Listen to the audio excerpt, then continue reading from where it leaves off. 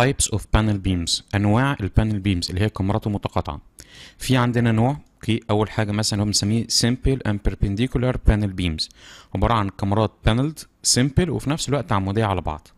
طيب زي مثلا عندنا شبكة من الكمرات زي اللي إحنا شايفينها كمرات paneled الكمرة ال paneled الواحده rested على إيه؟ زي ما قلنا rested على الكمرات الخارجية يعني معنى صح على الكمرة يمين وكمرة شمال.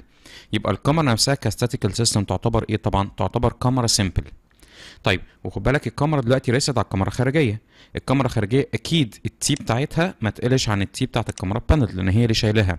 وفي نفس الوقت زي ما اتفقنا قلنا ممكن كمان نحط لها أعمدة في الوسط بحيث إن ال stiffness بتاعتها تزيد أكتر. طيب لو إحنا مثلا في عندنا نوع تاني أو بالمناسبة ال simple paneled beams زي ما اتفقنا عملنا شبكة من الكمرات فإيه اللي حصل؟ قلنا ال load لما ينزل هيتوزع في كل الاتجاهات فبالتالي ال deflection هيقل فبالتالي ال moment يقل. عشان كده هتلاقي لما نيجي نصمم ال simple paneled beams بعد ما بنحسب البندنج مومنت بتاع الكاميرا السمبل بنضرب المومنت نفسه في ريدكشن فاكتور يعني مع صح قيمة إيه أو factor يقلل ال moment شوية. ليه؟ زي ما قلنا عشان ال deflection already يقل شوية فال bending moment هيقل شوية. طيب ده أول حاجة إن شاء الله وده اللي هندرسه إن شاء الله في ال file بتاعنا. طيب حاجة تانية في عندنا نوع تاني بنسميه continuous paneled beams. ساعات في المساحات الكبيرة قوي قوي أو المساحات اللي الطول الكبير بتاعها أكبر بكتير من الطول الصغير. فاكرين قلنا إن ال أكبر من ال على ال شورت أكبر من كام؟ 4 على 3 ممكن لما نيجي نحط شبكة نلاقي ساعتها إن ال stiffness الكمرات القصيرة أطول بكتير جدا من ال stiffness الكمرات الطويلة فبالتالي مش هتشتغل شبكة. فساعتها ممكن نضطر نعمل إيه؟ نحط الكمرة في النص أو girder في النص كمرة تقيلة قوي. بحيث إن إحنا دلوقتي قسمنا المساحة دي لشبكتين من الكمرات ال paneled شبكة ناحية دي وشبكة من الناحيه دي. طب لو جينا بصينا على الكمرة paneled واحدة دلوقتي دي حاليا supported على إيه؟ متشال على إيه؟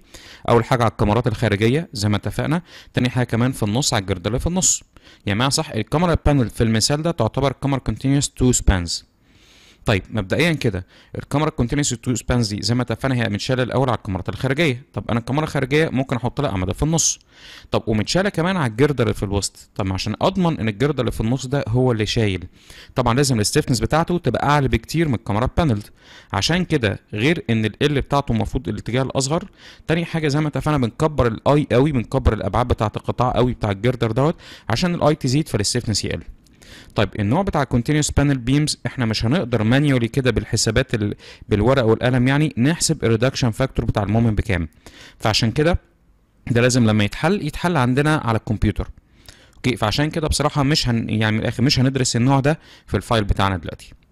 طيب في عندنا نوع تالت بنسميه skew paneled beams skew paneled beams عبارة عن كمرات أوكي؟ متقاطعة غالبا عموديه على بعض لكن مش عموديه على الكمرات الخارجية.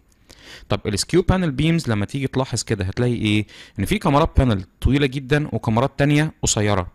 طب ده معناه كده إن هيبقى في فرق في ال stiffness طيب عشان ما نخليش في فرق في ال stiffness إحنا ممكن نعمل إيه؟ نيجي عند الكمرات اللي طولها كبير قوي قوي يعني ال بتاعتها كبيرة نكبر ال I بتاعتها عن طريق إن إحنا نكبر الأبعاد. ونيجي عند الكمرات الصغيرة اللي هي ال بتاعتها صغيره نصغر الكمرات بتاعتها يعني نصغر الأبعاد. عشان تخلي ال stiffness قريب من بعض. ودي حاجة نظرية مش عملية خالص. يعني عمليا لما اتفقنا بنعمل skew paneled beams بنحط الأبعاد ال b وال t للكمرات الطويلة والقصيرة زي بعض. بس ده كده معناه إن هيبقى الكمرات دي هم فيهم شايل ومتشال. فشكل الشبكة نفسه اتلخبط شوية.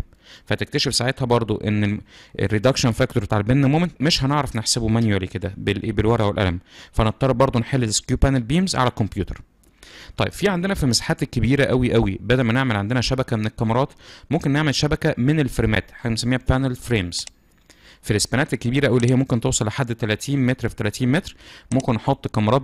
frame ات بالطول و frame ات بالعرض بحيث إن هي اتفقنا تبقى شبكة من ال frame ات دي برضو إحنا مش هندرسها في الملف بتاعنا ده لأن برضو ال reduction factor بتاعها أوكي لازم يتحسب عن طريق الكمبيوتر يبقى اللي هيتدرس إن شاء الله اللي هيتدرس إن شاء الله في ال file ده اللي هي الكاميرات السمبل وبربنديكولار بانل بيمز زي ما قلنا عبارة عن كاميرات سمبل وفي نفس الوقت عموديه على بعضها طيب هتكتشف في المثال بتاعنا ده إن شبكة الكمرات بتتكون من كمرات طولها ال شورت وكمرات تانية إيه طولها ال طب إيه اللي هنحتاج نصممه في الملف بتاعنا دوت؟ فاكرين قلنا الكمرات دي هيبقى في بينهم بلاطات صغيرة بنسمي مساحتها A في B. أوكي؟ وبتبقى غالبا البلاطات الصغيرة two way solid slab غالبا. لكن ممكن طبعا الأبعاد لو زادت تبقى إيه؟ تبقى two way hollow blocks فإحنا هنحتاج في الملف بتاعنا نصمم مبدئيا كده البلاطات الصغيرة ونحتاج كمان نصمم الكمرات ال paneled اللي طولها ال شورت واللي طولها ال ونحتاج كمان نصمم الكمرات الخارجية اللي هي تبقى شايلة الشبكة كلها. بس قبل ما نبتدي تصميم الكلام دوت في ملحوظة لازم نأكد عليها. إيه هي؟ الكمرة ال panelled اللي هي موجودة في وسط الشبكة دي كمرة simple supported في الأول وفي الآخر بس. قلنا لأن عند تقاطعها مع الكمرات ال panel الثانية ما فيهاش شايل ومتشال. لكن شريحة البلاطة لما نيجي ناخد شريحة للبلاطة ساعتها شريحة البلاطة نفسها تبقى متشالة في المثال ده على كام كمرة؟ على أربع كمرات يعني شريحة البلاطة نفسها continuous فخد بالك الكمرة panel simple لكن شريحة البلاطة تبقى continuous يعني البلاطة نفسها تتسلح حديد سفلي وحديد علوي.